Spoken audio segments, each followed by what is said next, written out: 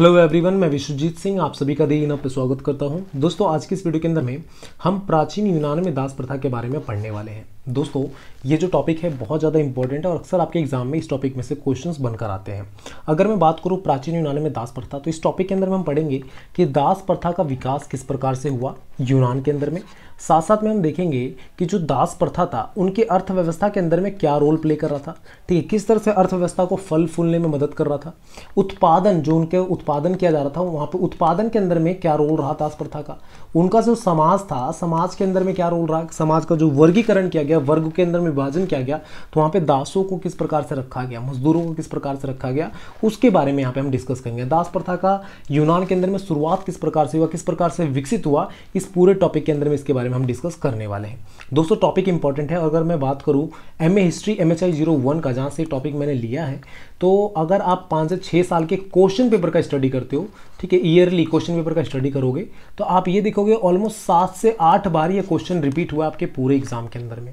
तो topic important है, हर बार घुमा फिरा के पूछा जाता है कि प्राचीन यूनान में दास प्रथा को समझाइए, इसकी विवेचना कीजिए, इसकी चर्चा कीजिए, इसकी विशेषताओं को बताइए, किस प्रकार से शुरुआत हुआ उसको बताइए, और कई बार कंपैरिजन क्वेश्चन आता है किसके साथ?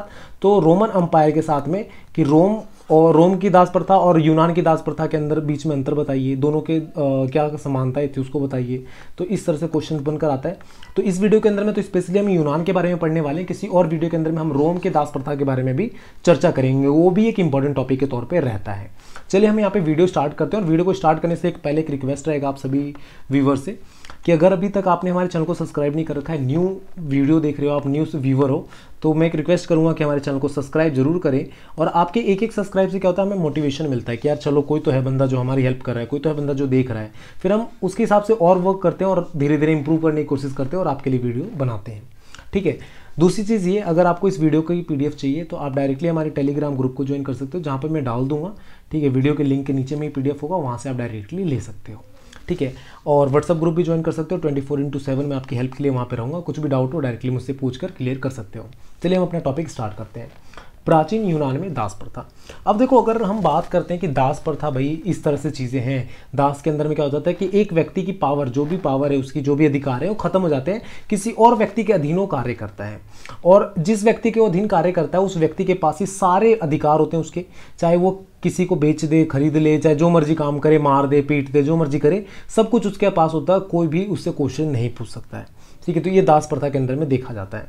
अब देखो, यहाँ पे अगर हम बात करें कि दास प्रथा का शुरुआत कैसे हुआ, कहाँ कहाँ से मानता है तो जो भी इतिहासकार रहा, वो इधर उधर हाथ पैर मारता है कि कोई कहता है कि यहाँ पे दास प्रथा की शुरुआत हुई, कोई कहता है यहाँ पर दास प्रथा की शुरुआत हुई तो नॉर्मली एक अंदाज़ा लगाया जाता है।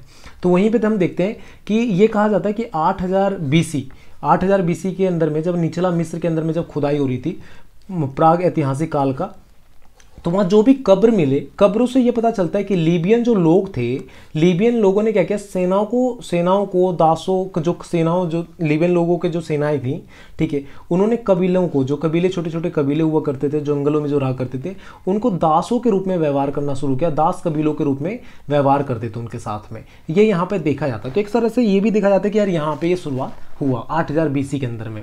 और जो दास प्रथा जो था, दास व्यवस्था है, वो क्या करता है? एक समाज का स्तरीकरण को दिखाता है, उसकी विशेषताओं को भी दिखाता है कि समाज की विशेषता, समाज का ये स्ट्रक्चर है, उसको हम यहाँ पे आइडेंटिफाई करता है। जैसे अब देखो, दास है मतलब किसी भी समाज के अंदर में, जैसे भारत के अंदर में वर्गीकरण होता है, ठीक है, वर्गीकरण वर्गीकरण में क्या होता है कि सबसे पहले आ गया क्षत्रिय, ब्राह्मण, ठीक है, वैश्य क्षुद्र तो उसी तरह से ये दास प्रथा के यहाँ पे दास आ गया। ठीक है तो उसके वर्गीकरण को दिखाता है, उसके क्लासीफाई को दिखाता है कि किस तरह से उसका स्तरीकरण है, किस तरह से क्लासीफाइड किया गया है, उसको भी यहाँ पे दिखाता है। समाज के स्तर को दिखाता है, उसकी विशेषता को दिखाता है दास प्रथा यहाँ पे ये भी बोला जाता है। देखो, कुछ इतिहासकार ये भी मानते हैं, अंदाज़ा लगाते हैं कि अखेट और जो संग्रहण का टाइम पीरियड था, जब आदि मानव का टाइम पीरियड चल रहा था, जब जिस समय पे एक आदि मानव अखेट करके छोटे छोटे जानवरों का शिकार करके, कंदमूल के फल को इकट्ठा करके, संग्रहण करके जो अपने जीवन व्यापन को कर रहा था तो उस टाइम पर पीरियड पे कहीं भी दास अवस्था का अस्तित्व नज़र नहीं आता है उसका साक्ष्य उपलब्ध नहीं है तो हम ये मान के चलते कि उस समय पर कोई भी दास व्यवस्था जैसी चीज़ें नहीं रही होंगी। यहाँ पे क्वेश्चन ये भी बनता है कि दास व्यवस्था का आरंभ कैसे होता है? भैया, दास बनते कैसे हैं? अब क्या मैं पढ़ा रहा हूँ आपको। मेरे क्या स्वाग पागल कुत्ते ने काटा क्या कि किसी को मैं बोलूँगा कि मैं तुम्हारा गुलाम बनूँगा? ठीक है, तुम आज से मेरे मालिक हो, जो बोलोगे मैं तुम्हारा करूँगा। ऐसा थोड़ी ना होता है। पागल कुत्ते ने तो काटा नहीं। तो दास बनते क्यों हैं? तो यहाँ पे बताया जाता है कि आर्थिक अतिरिक्तता। ठीक है, अगर किसी को आर्थिक कमी आई, किसी तरह से आर्थिक पूंजी कमी मतलब इकोनॉमिकली कोई प्रॉब्लम फेस कर रहा है, तब उसके कारण से दास बनने के कारण बनता है, या फिर उच्च जनसंख्या हो, बहुत ज़्यादा जनसंख्या बढ़ गई।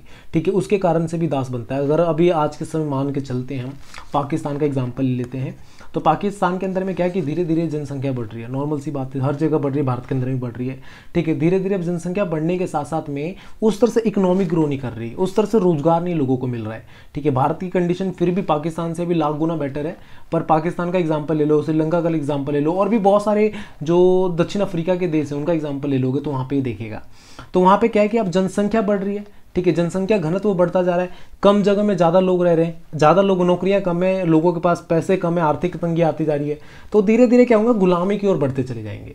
ठीक है जिसके पास पैसा है, वो बंदा अपने अंडर में रखेगा, उसको जैसे मर्ज़ी रेगुलेट करे, कोई कुछ बोलने वाला नहीं रहेगा। तो यहाँ से दास प्रथा की शुरुआत मानी जाती है। इस तरह से दास प्रथा की शुरुआत होती है। आगे मैं बात करूँ दोस्तों तो इस तरह की प्रवृत्तियों को देखते हुए ये कहा जा सकता है कि जो दास प्रथा का प्रचलन है ना, वो कृषि के आविष्कार के बाद हुआ। जैसे कृषि व्यवस्था आरंभ होता है, उसके बाद ये माना जाता है। ठीक है कृषि व्यवस्था के बाद में ये आरंभ होता है। नवपाषाण काल के दौरान में लगभग ग्यारह हज़ार वर्ष पूर्व, इसका मतलब ये मान के चलते अंदाज़ा लगाया जाता है कि दास प्रथा का आरंभ हुआ होगा। अब देखो, यहाँ पे अगर ऊपर के जो भी पॉइंट्स हमने पढ़े ना, इसको अगर आप ध्यान से देखोगे तो एक इतिहासकार ये बताना चाहता है कि दास प्रथा का आरंभ कब कब हुआ, उसके हिसाब से क्या था। तो उसने पहले देखा कि भैया देखो, जब जिस टाइम पीरियड पे आदि मानव थे ठीक है, आदि मानव जिस टाइम पीरियड पे, जब वो क्या करता था, संग्रहण कर कर अपना खाना खा रहा था, ठीक है, अखेट करके अपना खाना खा रहा था तो उस टाइम पीरियड पे तो कहीं भी कोई साक्ष्य नहीं मिला दास प्रथा का तो उस टाइम पीरियड पे नहीं होगा। फिर उसने सोचा कि अगर चलो उस टाइम पीरियड पे नहीं है तो दास बनता कैसे? उसके बारे में हम डिस्कस करते हैं। तो उसने देखा क्या, कि जब इकोनॉमिक प्रॉब्लम है, तब दास बन रहा है, ठीक है। जब पॉपुलेशन जो बढ़ता जा रहा है, उसके कारण से दास बन रहा है तो उन्होंने ये मेन कोज रीजन माना कि दास प्रथा का ये कारण बनता है। ठीक है? तो उसको देखते हुए उन्होंने सोचा कि यार, अब किस कंडीशन में जाकर सबसे पहली बार दास बना होगा? तो उन्होंने देखा कि जब कृषि व्यवस्था आरंभ हुई होगी, जब कृषि व्यवस्था आरंभ हुई जहाँ पे लोग एक जगह रुक कर खाना खाने लगे, रहने लगे, कृषि करने लगे धीरे धीरे आगे बढ़ने लगे तो वहाँ पर से वो धीरे धीरे दास प्रथा का स्टार्ट हुआ होगा। नॉर्मली अगर उस टाइम पीरियड को देखा जाए तो नव पाषाण काल यहाँ पर माना जाता है। ठीक है, ये समझ में आया? थोड़ा सा बेस था आपके दास प्रथा के बारे में। अब देखो, यूनान के अंदर में हम बात करते हैं कि यूनानी यूनानी मतलब यूनान के अंदर में दास प्रथा का क्या साक्षर है? तो यूनानी आदि कवि होमर करके एक कवि थे यूनान के अंदर में, जिसको होमर के नाम से जाना जाता है, ठीक है? उन्होंने 900 ईसा पूर्व के लगभग में कई सारी किताबें लिखी, जिसके अंदर में दो महाकाव्यों का ज़िक्र किया जाता है। एक महाकाव्य का नाम है इलियड, ठीक है? और दूसरे का नाम है ओडिस, ठीक है? इन किताबों के अंदर में भी दास प्रथा का अस्तित्व के बारे में, नैतिकता, उसके पतन के बारे में उल्लेख किया जाता है। ठीक है, यहाँ पे ये भी कहा जाता है कि यूनान में जो दासों की संख्या थी, वो बड़ी संख्या में दास थे। ठीक है धीरे धीरे संख्या बढ़ती जा रही थी और बहुत बड़ी संख्या के अंदर में दास बनाए जा रहे थे। एथेस के अंदर में जो यूनान, एथेस, सपाटा, ये सारी जो कंट्री है, ठीक है, आप उस समय पे जो एक तरह से मानोगे ना लीडिंग कंट्री थी, ठीक है, शिक्षा के मामले में, ठीक है, किसी भी तरह की क्रांति के मामले में एथेस हो गया, सपाटा हो गया, यूनान हो गया, रोम हो गया, इनको माना जाता था। ठीक है? तो एथेस के अंदर में दासों का जो दा, दासों की जो संख्या थी वो स्वतंत्र नागरिकों से भी अधिक थी। मतलब जिनके पास फ्रीडम था जिनके पास अधिकार था जो वहाँ के मूल नागरिक थे उनसे ज़्यादा संख्या में नंबर्स में दास एथेस के अंदर में देखे जाते थे। ठीक है, यूनानी समाज के अंदर में, जो राज्यों के अंदर में जो पूरा अधिकार, जो मतलब दासों के ऊपर में जो भी एक मतलब दासों की जो निश्चित भूमिका होती थी ना, किस तरह से क्या है, वो पूरा राज्य के अधीन में होता था, ये देखा जाता है। एक राज्य का समाज और राज्य का बहुत इंपॉर्टेंट रोल दासों को लेकर रहता था। ठीक है, ये देखा गया। प्लूटो ने अपनी जो कृति का, अपनी प्लूटो ने किताब लिखी, ठीक है। प्लूटो कौन है भाई?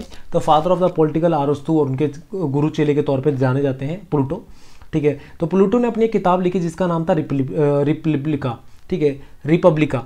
तो उसके अंदर में दासों के बारे में प्रमुखता से चर्चा की जाती है, जिसके अंदर में आधार बनाया जाता है दासों को, ठीक है? वो कई सारे इतिहासकार उस रिपब्लिक का जो बुक लिखी थी रिपब्लिक, ठीक है, प्लूटो ने, उसको आधार बनाकर दासों के ऊपर में जिसने प्लूटो ने चर्चा किया था जिस बुक में, उसको आधार बनाकर कई सारे इतिहासकार ने उसके ऊपर में लिखा।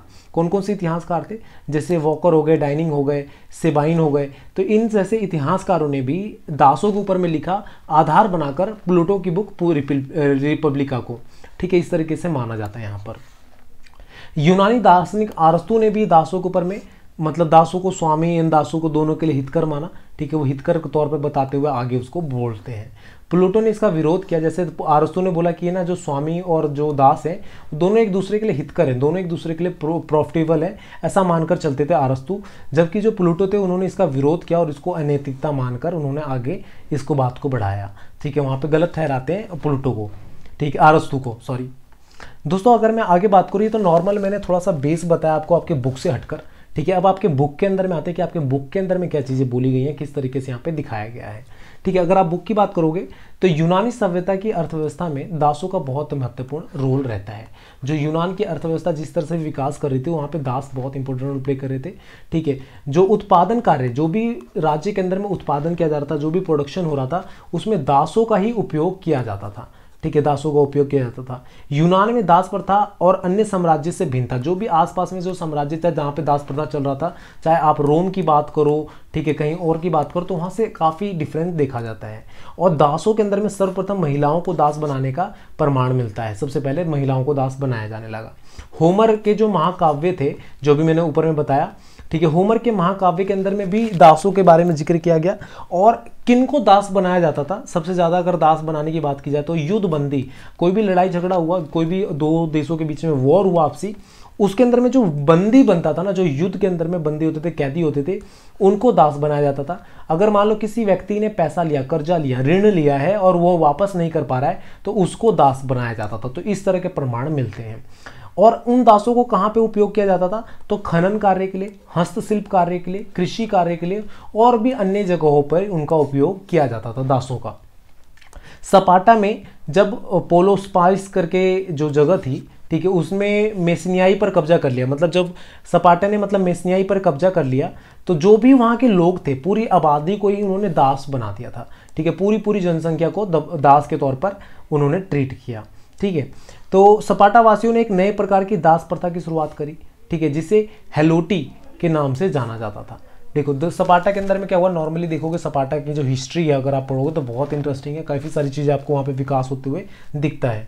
जो नए नए संगठन नए नए ग्रुप नए नए आइडियाज़ का इनोवेशन हुआ, सपाटा एथेस वहीं से माना जाता है। यूनान, रोमन से ही माना जाता है नॉर्मली ठीक है। तो सपाटा के अंदर में भी दास प्रथा बहुत तेज़ी से विकास करता है, जहाँ पर पूरी पूरी आबादी को यहाँ पर देखा जाता है कि दास के तौर पर ट्रीट किया जाने लगा, मेसिनियाई का, जो पूरी आबादी थी उसको। ठीक है? साथ में ये भी देखा गया कि जो सपाटा वासी थे, वो एक नए प्रकार की दास प्रथा की शुरुआत करते हैं, जिसमें हेलोटी नाम कहा जाता है, पूरे दास प्रथा को हेलोट्री के नाम से जाना जाता है। और जो दास होते थे, जिसके हेलोट्री के अंदर के अंतर्गत जो भी दास बनता था, उसे हेलोट कहा जाता था। ठीक है, उन लोगों को हेलोट कहा जाता था, उन दासों को हेलोट के नाम से जाना जाता था।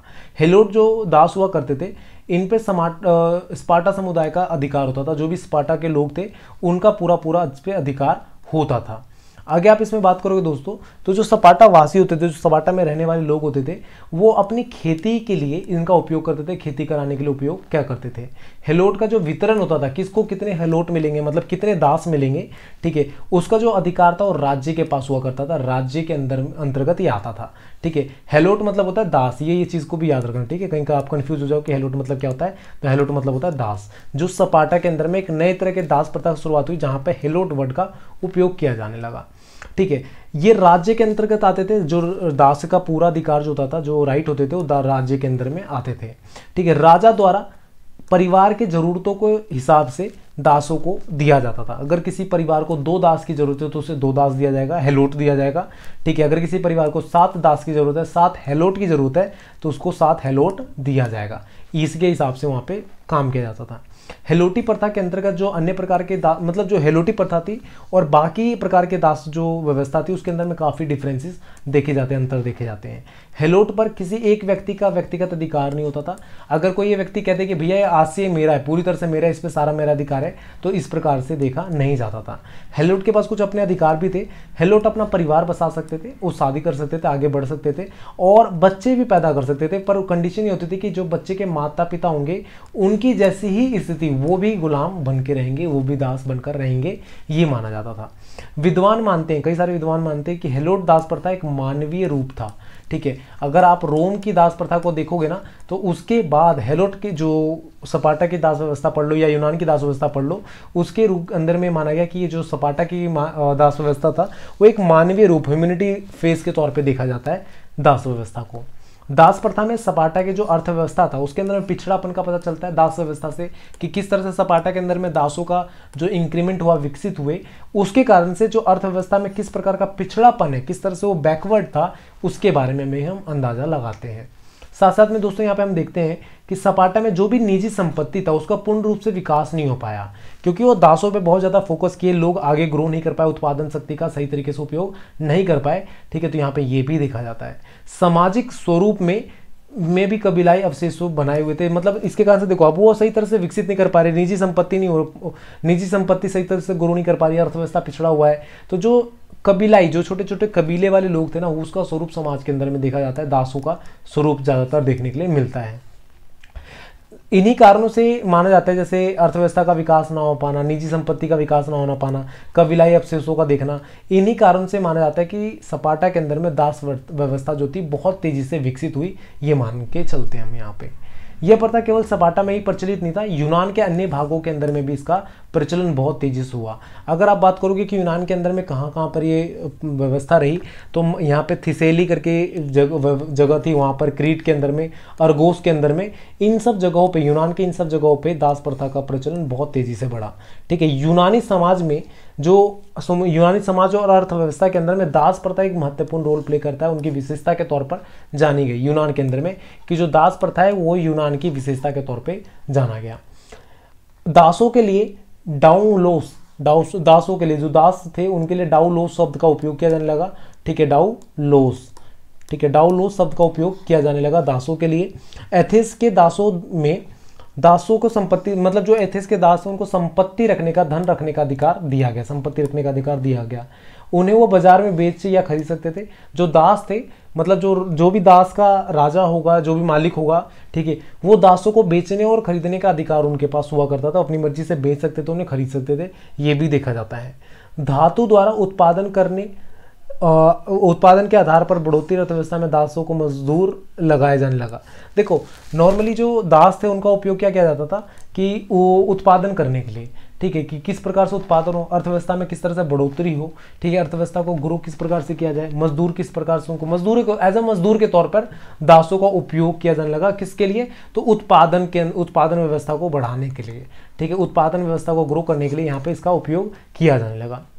दोस्तों, ये पूरा टॉपिक था यहाँ पे दास व्यवस्था के बारे में। मेनली अगर मैं एक बार रफली आपको ऊपर से नीचे तक मैं बताऊँ तो तो यहाँ पे हम बात करते हैं यूनान की दास व्यवस्था के बारे में कि यूनान की दास व्यवस्था किस प्रकार की है। तो सबसे पहले तो मैंने आपको बेसिक इंट्रोडक्शन दे दिया कि यूनान की दास व्यवस्था का विकास किस प्रकार से हुआ। अलग अलग इतिहासकारों का क्या मानना था, किस प्रकार से रहा। वहाँ पे एक मैंने सोर्स के तौर पर कवि होमर का मैंने यहाँ पे एग्जांपल दिया, जो 900 ईसा पूर्व में, ठीक है, दो महाकाव्य लिखते हैं। इलियड और ओडिस के नाम से, जिसके अंदर में दासों का नैतिक पतन के बारे में उल्लेख करते हैं कि किस प्रकार का उनका अस्तित्व रहा, नैतिक पतन किस प्रकार से हुआ, उसके बारे में वो ज़िक्र करते हैं। उसके बाद हम यहाँ पे बात करते हैं प्लूटो के बारे में, कि प्लूटो ने अपनी जो बुक थी, रिपब्लिक, उसके अंदर में दासों के बारे में चर्चा करी।